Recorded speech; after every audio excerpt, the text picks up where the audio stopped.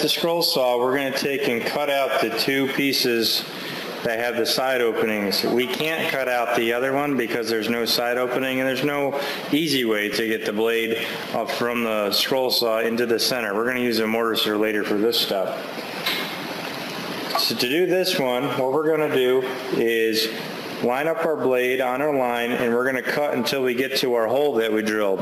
Then we're going to turn the piece and go follow, uh, follow the line till the next hole and continue around until the piece falls out. Remember when you're using a scroll saw that you always want to be pushing in this direction.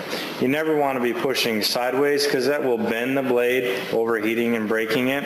You also don't want to push too hard because that can snap a blade as well. And remember to only turn a piece at a 90 degree angle when the blade is in the hole. If you do that while it's in the piece of wood, it will for sure break off a blade. So again, safety glasses are on, turn on the saw and follow your lines.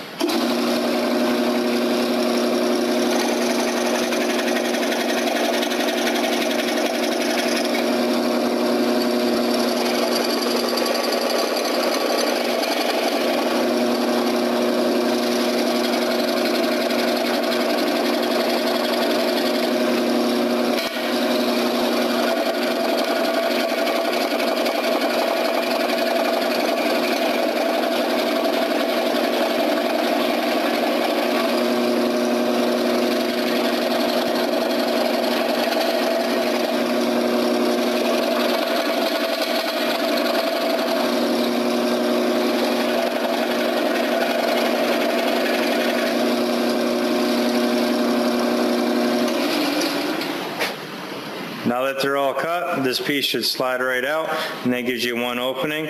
Follow the same procedures for the other piece.